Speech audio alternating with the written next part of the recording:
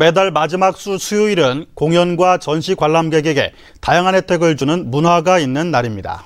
시행한 지 2년이 넘었지만 홍보가 안 돼서 대부분의 관람 시설은 텅 비어 있습니다. 조미애 기자가 전합니다.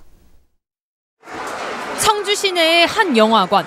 평소 9천 원을 내야 볼 수 있는 영화가 오늘은 4천 원이나 할인됐습니다.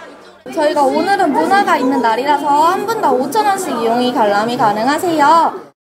매달 마지막 주 수요일에 극장에 오면 받을 수 있는 혜택입니다. 영화를 볼 기회가 없었는데 이렇게 반값에 영화를 볼 수 있게 되어서 그리고 또 연달아 볼 수 있게 되어서 너무 좋아요. 동네 도서관에서는 대학생들이 재능 기부로 작은 음악회를 열었습니다. 귀에 익은 음악이 흐르자 엄마도 아이도 한편의 이야기 속으로 빠져듭니다. 집 근처에서 쉽게 접할 수 있으니까 애들하고도 음악에 대한 친밀도가 높아지는 것 같아서 좋네요. 이런 게 많이 있었으면 좋겠어요. 하지만 도내 박물관과 미술관은 사정이 다릅니다.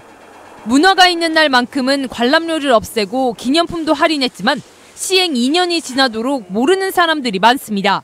딱히 뭐 문화의 날이라고 해서 그날 더 이용한다거나 이런 거는 네, 들어본 적이 없어가지고. 누구나 쉽게 문화를 접할 수 있게 하겠다는 문화가 있는 날 지정 취지가 무색합니다.